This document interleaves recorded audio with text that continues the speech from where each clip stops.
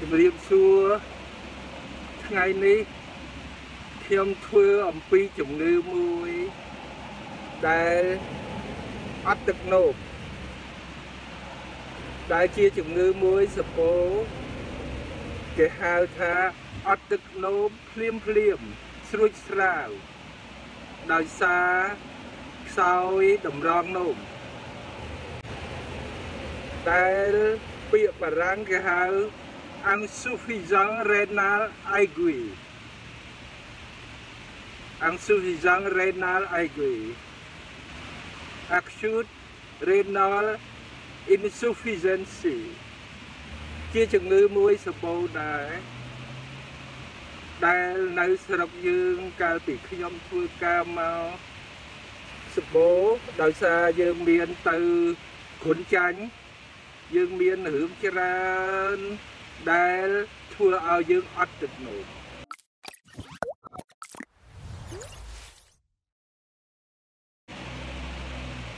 ហើយកណ្ណាអត់ទឹកនោមតែមួយថ្ងៃកន្លះថ្ងៃនឹងស្លាប់ហើយចឹងខ្ញុំនឹងបញ្យលដើម្បីឲ្យយល់គ្រូពេទ្យទាំងអស់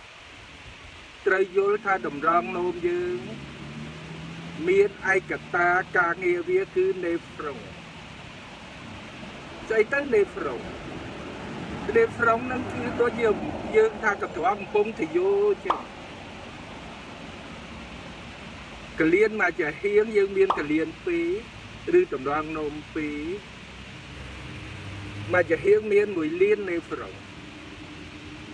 ហើយយើងចាប់ខ្សោយបើរ៉ាំរៃខ្ញុំមិននិយាយទេព្រោះ វាវែងទៅទៀតខ្ញុំនិយាយតែខ្សោយភ្លាមភ្លាមដើម្បីនឹងយល់យើងស្គាល់នៃហ្វ្រុងទាំងអស់គ្នារៀងវាដូចតកៅទឹកទេនៃហ្វ្រុងយើងតើស្គាល់គេហៅ glomerul នៅ glomerul ហ្នឹងមាន capsule de Bowman ដែលណារៀនដឹងហើយថា capsule de Bowman ជាកន្ត្រង តិចទៀតខ្ញុំនឹងបញ្យល់មិនទៅបែរជាគេហៅថាទឹកនោមប្រៃមិនមែនប្រៃទេវាវាជ្រាបអាល់ប៊ូមីនតាមកន្ត្រងហ្នឹងហើយនៅខ្ញុំបញ្យល់ខ្លះជារូបវិទ្យាគេហៅ osmolarity osmos ជ្រាបហើយនឹងបានវាមាន tibil tibil មាន tibil កងទុកនេ proximal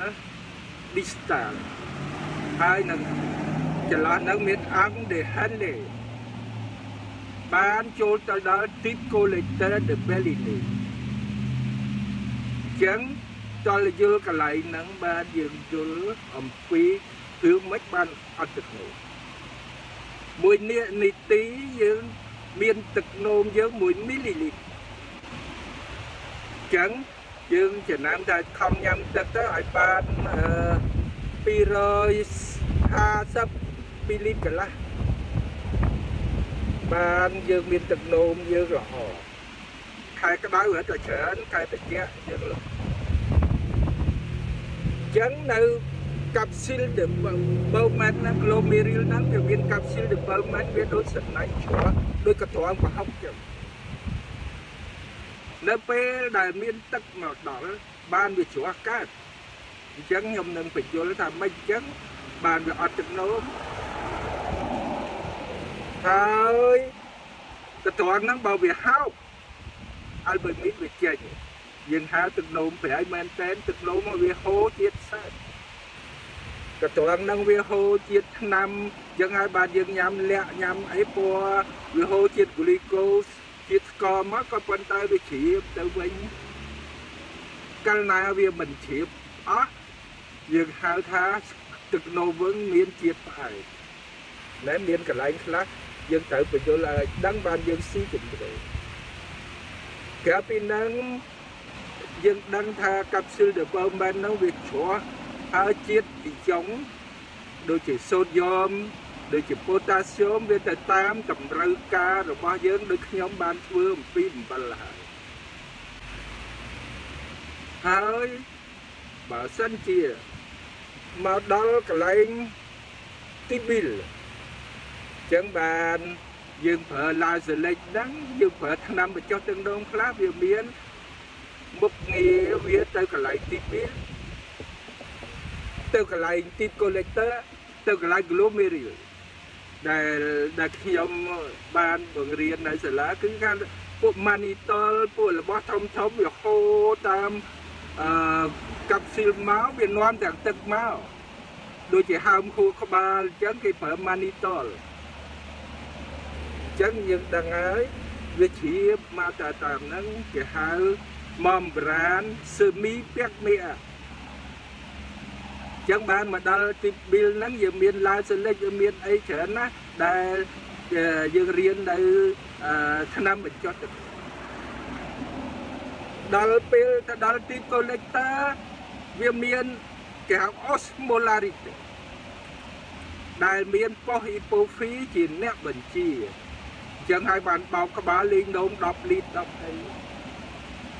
ចឹងយើងនិយាយពីនេហ្វ្រុងខ្លះបន្តិចហើយបានយើងដឹងថាតម្រងនោមយើងក្រៅពីនឹងវាធ្វើអបបនវាធ្វើអបបន3ដែលយើងដឹងហើយរេនីន ដែលវាមានប្រព័ន្ធមួយចឹងហើយបានជាអ្នកខូចតម្រងនោមលើសឈាមអូយលើខ្ពស់ខ្ពស់ហើយដល់20ដល់18ដល់អ្នកណាមិនចេះទម្លាក់ដាច់សរសៃច្រាចឹងវាមានរេនីនអង់ស៊ីអូតង់ស៊ីនដែលប្រព័ន្ធវាហ្នឹង aldosterone មួយទៀតក៏វាតាក់ទងនឹងគេហៅ calcium ដែលមានប្រព័ន្ធវាតាក់ទងនឹងដែរ ហើយប្រព័ន្ធមួយទៀតដែលយើងដឹងហើយគេហៅ ritopoietin ណាណានៅកន្លែងលាងឈាមទៅទៅតិចអាហ្នឹងមកចាស់តែអញ្ចឹងគ្រាន់ឈាមក្រហមយើងខ្វះអញ្ចឹងចូលមកដល់នោមមកចេញយើងមកដល់ពេទ្យយើងត្រូវសកទៅយោចូលផ្លោកនោះយើងវល់ ព្រោះយើងមិនអាចចាំតលកន្លះថ្ងៃឬមួយថ្ងៃទេ យើងដឹងថា1លីលី1មីលីលីត្រ1នាទីអញ្ចឹង1ម៉ោង60មីលីលីត្រណែបងប្អូននៅតាមគ្រូពេទ្យត្រូវចេះសុំអាហ្នឹងយើងតាមស្រីស្រួលសុំជាងប្រុសវាវាអ៊ីរ៉ែតខ្ពស់អញ្ចឹង1ម៉ោងត្រូវ60មីលីលីត្រ ចឹងហើយយើងមើលតាមឡើងយើងដឹងតែខ្វះ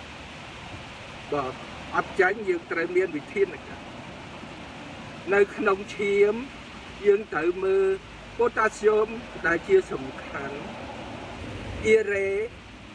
ក្រេអាទីនីនដែលជា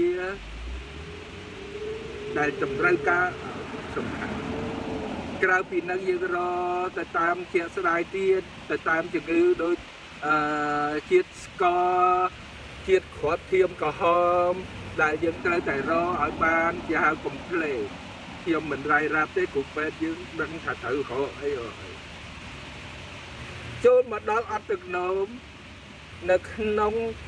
ភ្លាមភ្លាមហ្នឹងយើងត្រូវគិត3ភ្លាមគេហៅ pre renal បានន័យថាមិនទាន់មកដល់ទឹករាំងមិនទាន់មកដល់តម្រងនោះ renal គឺឈឺនៅកន្លែងរាំងហើយនឹងបន្ទាប់ពីរាំងត្រូវគិត3នឹងព្រាមហើយយើងសួរប្រវត្តិសួរអីសួរអីមានគ្រុនចាញ់មានលេបថ្នាំពុលមានអីយើងឃើញហើយហើយយើងសហការគ្នាគ្រូពេទ្យជំងឺទូទៅ ត្រូវសហការជាមួយឯកទេសមួយគេហៅ nephro nephrology ដែលមានទីតាំងនៅកន្លែងលាងឈាមតាលាងឈាមជាស៊ីដែលគាត់បានស្លាប់ហើយគាត់បន្សល់ទុកអនុស្សាវរីយ៍ថ្មីដៃមួយទុកឲ្យកូនចៅយើងគឺថាលាងឈាមណាគេហៅយ៉ាលីយ៉ាលី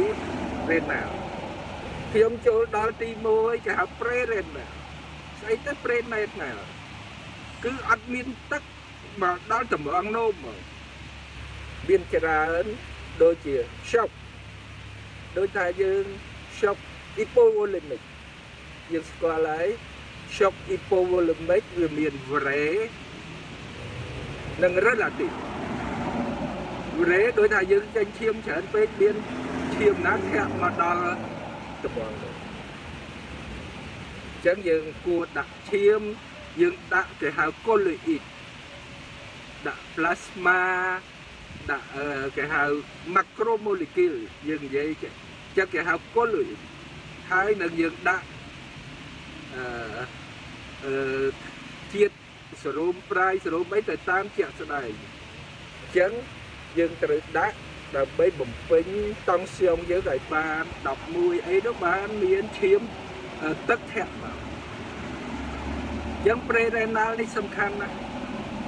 ទី1យើងត្រូវដាក់អីអីទៅទៀតខ្ញុំនិយាយអឺបញ្យលអំពីរបៀបដាក់ទី2គេហៅ renal renal ហ្នឹងគឺសម្បូរដែរគេហៅច្រើនភាកច្រើនទីពីឡូនេហ្វ្រីតអីគូដូចទៅទៅគុនចាញ់អញ្ចឹង គុនចាញ់វាមាន Plasmodium falciparum ហើយវាធ្វើឲ្យបែកគ្រាប់ឈាមអញ្ចឹងវាមកស្ទះរុនទីប៊ីលគេហៅទីប៊ីឡូនេហ្វ្រីតអីទៅមួយទៀតអ្នកពុលពុលដូចជាមេគាយកទៅខាត់ស្បែកយកទៅចាក់យកទៅលេបចង់ឲ្យសាច់សគឺពុលពុលខូចទីប៊ីល មានច្រើនទៀតចឹងយើងត្រូវរកមើលឲ្យដឹងថា pre-renal renal ឬ post-renal ឯ post-renal គឺជាឯកទេសរបស់លោក urolog urolog គេមើលមានដុំគ្រោះបានវាទៅជួនកាលអ្នកខ្លះមានតំងនោមតែចេះអីស្រាប់តែមានដុំគ្រោះចិត្តរុនវា មានប្រូស្តាតហើយ ជួនកាលគ្រូពេទ្យខ្លះទៅដេទៅកោះអាដូចតាក់តងរឿងរោគស្ត្រីទៅកោះចងអាដៃ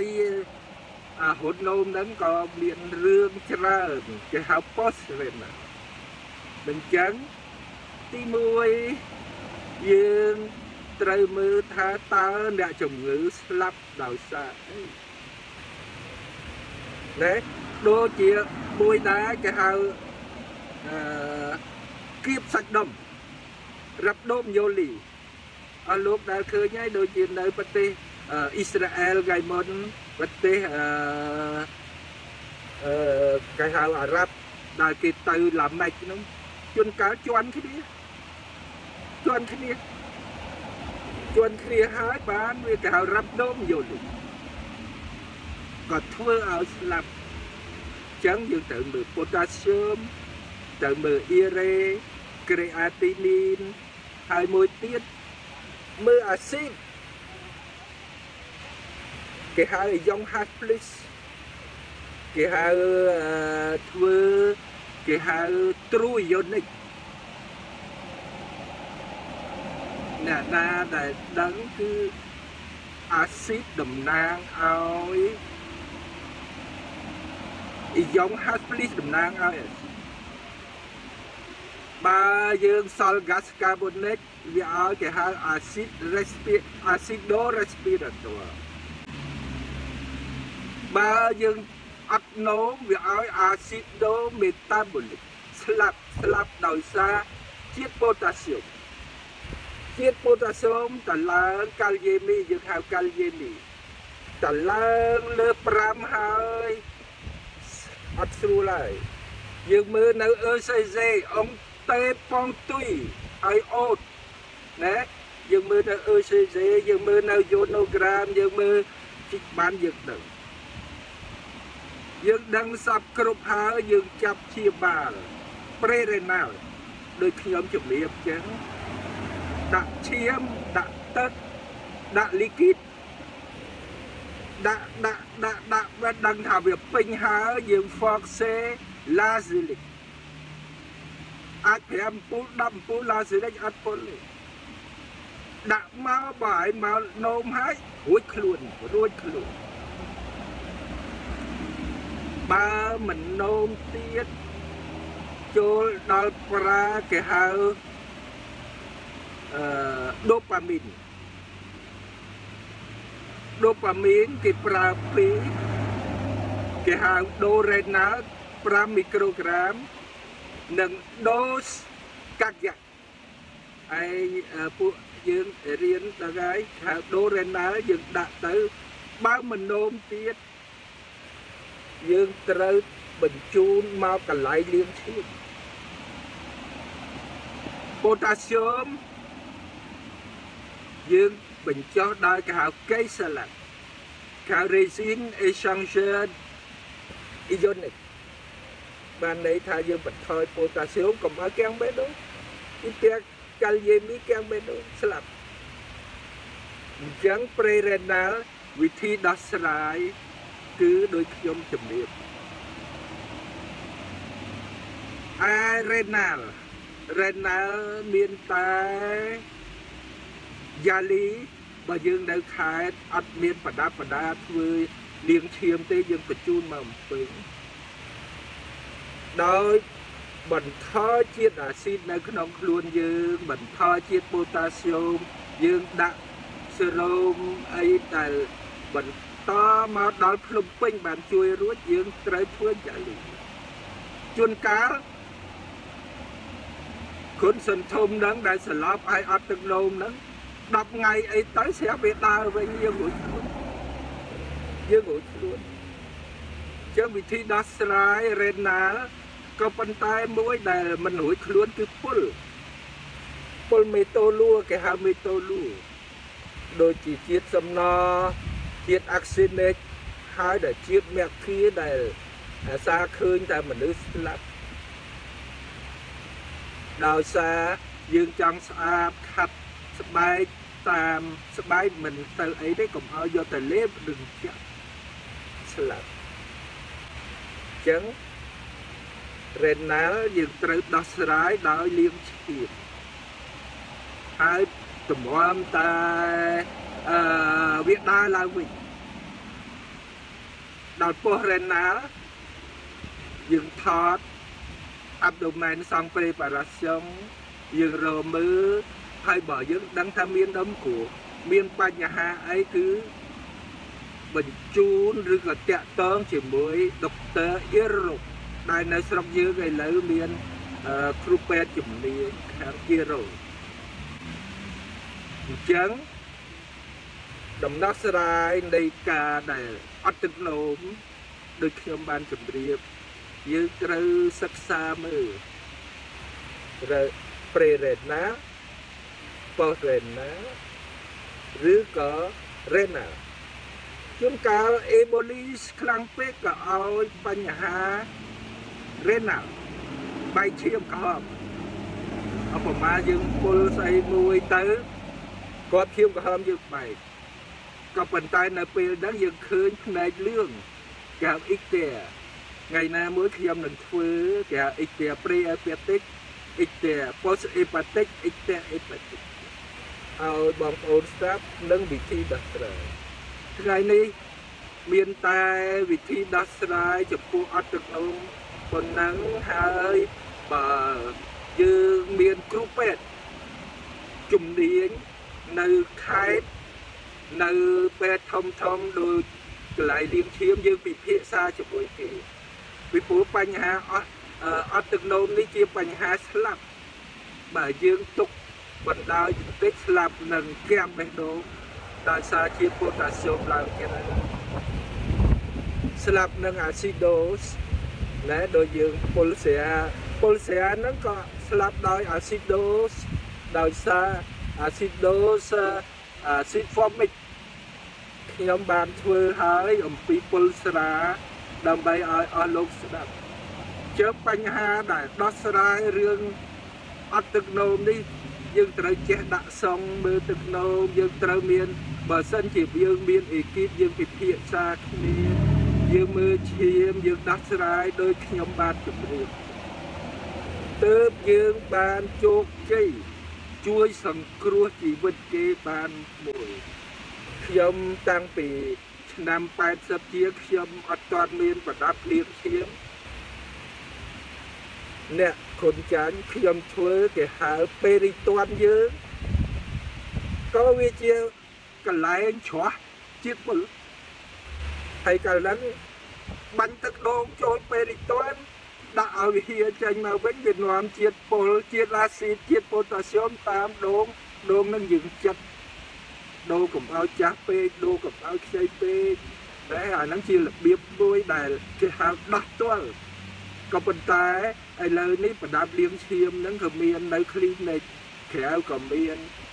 នៅពេទ្យកើម៉ែតនៅពេទ្យធំ នៅពេទ្យលោកសង្ឃនៅពេទ្យរុស្ស៊ីពេទ្យអង្គឌួងចឹងបញ្ហាអត់ទឹកដូមស្រួចស្រាវនេះសំខាន់ណាស់សូមបងប្អូនទាំងអស់គ្រូពេទ្យនៅខេត្តអីអឺមានជាកំណត់ដោះស្រាយព្រោះព្រោះខ្ញុំបានជួបច្រើនខ្ញុំគ្រាន់តែឲ្យជាកំណត់ក៏ប៉ុន្តែយើងត្រូវតែ វិភាសាយើងទៅរៀន anatomy យើងទៅរៀនជាមួយ physiology ហើយវិភាសាជាមួយលោកគ្រូពេទ្យដែលជា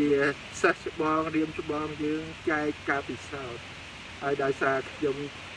ជាគ្រូពេទ្យចាស់ខ្ញុំមានការពិសោធន៍ដែលសំខាន់ប៉ុន្មានខ្ញុំចេះតែបង្ហាត់បង្ហាញជូនបងប្អូនគ្រូពេទ្យយើងជាការដែលចំណេះដឹងតតគ្នា ឡាយរបស់ខ្ញុំមានតែប៉ុណ្ណេះទេខ្ញុំសូមអរគុណហើយខ្ញុំសូមជម្រាបលា